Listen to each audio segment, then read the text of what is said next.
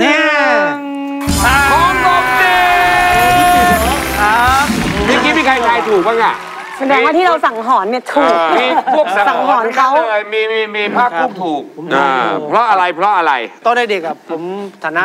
ยากจนเออแม่ไม่ให้ตังค์เพราะแม่ไม่มีตังค์อ่าก็ให้พี่ชายพี่พาผมไปชกมวยเถอะอยากได้ของเล่นก็คือปืนแก๊ป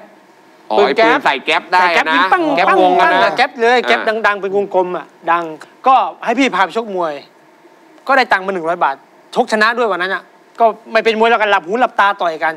แต่รู้ว่าต่อยแพ้หรือชนะมันได้ตังค์อยู่แล้ว เกิดแรงบันดาลใจว่าเฮ้ยถ้าอยากได้ตังค์ต้องชกมวยนั่นคือในวัยที่เด็กในวัยนั้น แต่ต่อจากนั้นก็ชกมวยอาชีพอย่างจริงจังเรื่อยมาจับพัดจับผูจนมาติดทีมชาตินี่แหละครับ มันมีช่วงไหนของชีวิตไหมที่คุณแบบอยากจะเลิกเลย ไม่เอาละมวย ก็มันต้องมีช่วบ้างแหละ เพราะว่ามันคุณอยู่มายาวนานครับไงมันต้องพอ มีช่วงหนึ่งของชีวิตอะครับพอหลังจากที่ผมเติบโตมาเรื่อยๆผมมีโอกาสเรียนจบแค่มสามแม่ให้เลือกว่าจะไปทำงานเป็นกรรมกร หรือจะเป็นชาวนาก็ไม่เอาเหนื่อย ผมจำได้ว่าผมเคยต่อยมวย ก็เลยบอกแม่ไปขอต่อยมวย ก็เลยมาอยู่ชนบุรี ตั้งแต่อายุ15 ปี ต่อยมาถึง7ถึง8ปี ถึงวันหนึ่งที่มันอย่างพี่วิลลี่บอกว่า มันถึงวันหนึ่งที่ต้องจบชีวิตของการมวยไทยเพราะมันเจ็บมาก เราชกมวยไทยมาเกือบ 8 ปี มันเจ็บชื่อว่านั่งเข้าห้องน้ำไม่ได้ครับเหมือนกับไปห้องน้ำนั่งยองๆฮะโดนเตะเจาะยางอะผมก็ต้องนั่งแบบเนี้ยนั่งยืดอันนี้นั่งอย่างนั่งอย่างเงี้ยฮะอย่างนี้เลยเหรอ ใช่ มันมันเจ็บมันมากงอขาไม่ได้เลย งอไม่ได้พอพอลุกขึ้นเสร็จก้นยังไงวะพอลุกขึ้นเสร็จก็เดินกระลาดเต็มหมดอะขาเนี่ยลาด มันจริงๆนะ เป็นอาชีพที่เจ็บที่สุดนักมวยครับเนี่ย เศร้าอะ ก็เลยเลิกชกมวยไทย เพราะว่ามันถึง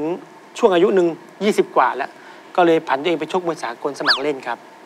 แต่กว่าการที่จะไปชกมวยสากลสมัครเล่นนั้นก็ต้องไปอยู่กับพี่สาวก่อน ขออนุญาตเล่า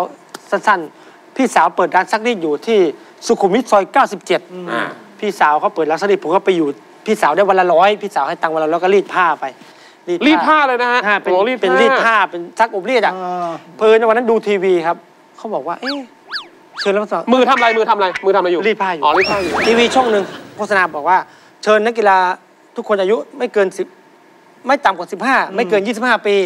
แข่งขันเพื่อคัดเลือกเป็นตัวแทนทีมชาติไทย โอ้โห ในการแข่งขันชกมวยชิงแชมป์แห่งประเทศไทย โอ้โห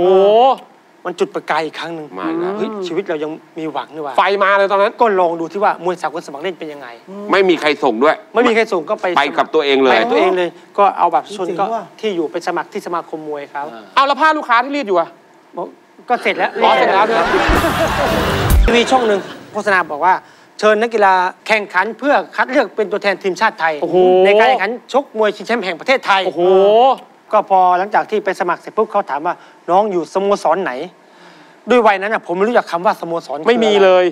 เอ๊ะสโมสรคืออะไรคเอรับอสโมสรคือที่มันเป็นแบบมาเป็นหลายๆคนน่ะที่เป็นสโมสรสังกัดตัวแทนสัสังงกักัดดอะ